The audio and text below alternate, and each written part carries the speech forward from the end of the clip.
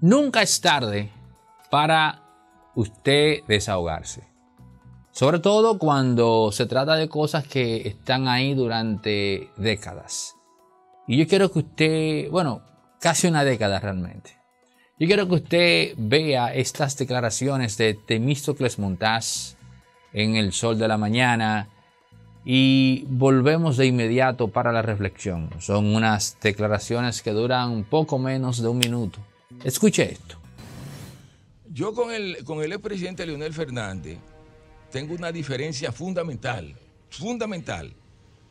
Y es que yo entiendo que eh, nosotros nos formamos en un, en un, ambiente democrático, nosotros fuimos luchadores contra el continuismo y resulta que yo me he encontrado con una persona que eh, formándose en ese espíritu de lucha contra el continuismo, él ha llegado a creerse que él es el continuador de Joaquín Balaguer. Y eso yo no lo, yo no lo acepto. Usted, sigue pensando que es el señor del ¿Eh? pasado. ¿Eh? Usted sigue pensando que el presidente yo pienso, Yo pienso que a este país le hace bien que sigamos renovando el liderazgo que accede a la presidencia de la República. eso es lo que yo creo.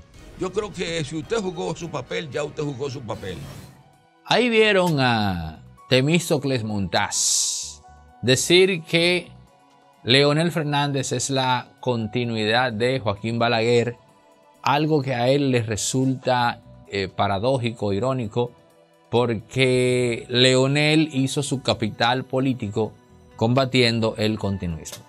Yo quiero que usted tenga claro antes de que Temístocles Montaz, Danilo Medina y Leonel Fernández formaban una triada en el PLD en donde ellos se trataban como iguales, a pesar de que fuese Leonel el presidente, que fuese Danilo, y todo el que estaba inmediatamente después de ellos los veía también como iguales. Leonel, Danilo y Temístocles fueron formados por Norge Botello, no por Juan Bosch. Ese es otro dato revelador tan importante como, digamos, inquietante porque rompe la línea, porque se asume o se vende que ellos tres son sucesores directos de Juan Bosch. No, no es así. Juan Bosch, Norge Botello y luego están estos tres muchachos en aquel entonces.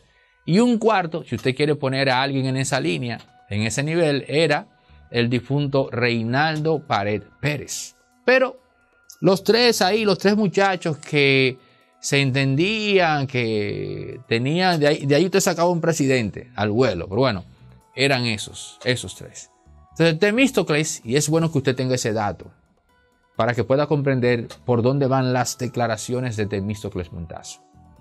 En el año 2012, Leonel abandona el poder y le da el paso a Danilo. Lo que usted y yo no sabíamos, o lo que usted no sabía, yo tampoco, pero lo supe un tiempecito después, es que en efecto no se trata de que Temístocles sacó la cabeza en el 2015 y amagó para ser candidato presidencial. No. Se trata de que en la práctica él entendía que tenía que ser el heredero. Comprenda, porque hay una diferencia. Una cosa es que yo haga un amague hacia afuera, un aguaje, no, que el que va soy yo, a votación. Y otra cosa es que yo infiera que me toca a mí. Y que tanto, en este caso, Leonel como Danilo Medina tienen que apoyarme, porque me toca. Esa era la tesitura mental de Temístocles Montaz. La siguiente. Ya Leonel fue presidente tres periodos. Ya Danilo fue presidente un periodo. Yo puedo amagar ahora, yo sé que él se va a reelegir, pero en el 20 me voy a tirar yo. Entonces, ¿qué ocurrió? ¿Qué pasó? Aquí viene. Señores, en el 2020, 2019, primero el drama que hizo Leonel en torno a que iba. Bueno, pues ya, compitió el compañero Leonel. Y luego el tema de lo que hizo Danilo para contener a Leonel, que en este caso era el, personaje de Gonzalo Castillo. Digo personaje por lo que devino siendo, lo, que terminó siendo. todo eso le puso el panorama en chino a Temístocles Montaz, para quien hubiese sido más fácil totalmente, al menos en su lógica, el presentarse si Leonel no hubiese ido. Si Leonel hubiese de entrada desistido de aquello que él y otros entendían que era algo ridículo. Aspirar, volver, o sea, lo que ellos entendían, no yo, yo no sé. yo entiendo que él cerró su ciclo histórico, por amén. Entonces, Temístocles Montaz entendía que en el 2020 él tenía que ser el heredero, pero el aparataje que hizo Leonel Fernández terminó complicándolo absolutamente todo. Entonces, para él, Leonel Fernández es el culpable de que él al menos no sea el candidato o no tenga una, imagen presidencialista en el Partido de la Liberación Dominicana. Y de ahí la necesidad de ese desahogo. Porque Temístocles Montaz, que se sabe, se siente un igual o incluso por la milla, mucho más preparado para dirigir el Estado que Leonel y Danilo, cuando ve a esta figura que según él por su, digamos, su tosudez le daña el plan, pues ya él sabe que esa figura, en este caso, Leonel Fernández, o sea, a esa figura él se la tiene. Lo que acabo de explicar es a razón de qué vino ese desahogo y de cómo él habla y nos cuenta a un Leonel Fernández está empecinado con el poder. Ahora, yo escucho esto y me da un poco de pena por Temístocles Montaz. No porque lo vea inferior políticamente a Leonel, no, porque todo el mundo en el PLD sabe que Temístocles Montaz, al menos en ese contexto que le tocó vivir, era uno de los cerebros eh, mejor amueblados para dirigir la cosa pública. Lo saben internamente en ese partido y lo sabe gente del sector privado que respeta a Temístocles Montaz por eso que acabo de decir. Pero me da pena con Temístocles, no el tecnócrata, sino el ser humano que tiene ese resentimiento. Y no digo esto por vender como noble la figura de Leonel, no, lo digo porque me da pena por Temístocles en sí, porque Leyendo de libro en libro, encontré una frase que me la quedé para practicarla en la vida. El odio y el resentimiento es un brebaje que perjudica más al recipiente que lo contiene que allí donde se pretende vertir. Entiéndase que el, el, recipiente es el ser humano y allí donde se quiere lanzar es la persona que es objeto de ese odio a razón de que es quien lo evoca en ti. Entonces, yo me quedé con esa frase. El resentimiento al final del día solo le hace daño al que lo padece. O sea, le hace más daño al que lo padece que cuando incluso tú pretendes descargarlo sobre otras personas en función del daño que tú entiendes que esa persona te ha ocasionado a ti. Y eso es lo que estoy viendo ahora mismo con Temístocles Montaz y su desahogo en torno a la figura de Leonel Fernández, aunque by the way, ¿eh? tenemos que decir que es cierto lo que plantea Temístocles. Pero si yo lo digo, nadie va a inferir que hay una deuda pendiente, que hay un asunto pendiente entre Leonel y yo. No, porque los compañeros de partido y que ocuparon cargos, ¿no?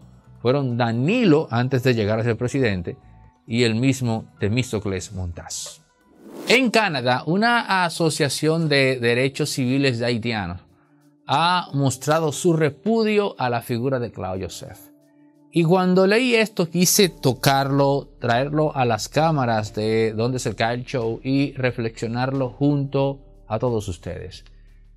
Ustedes se dan cuenta ya que la figura de Claude Joseph no es acogida en Haití. Y lo digo porque él se vende hacia afuera como un salvador de esa nación. Todo salvador y héroe tiene un villano y él ha escogido que el suyo sea República Dominicana.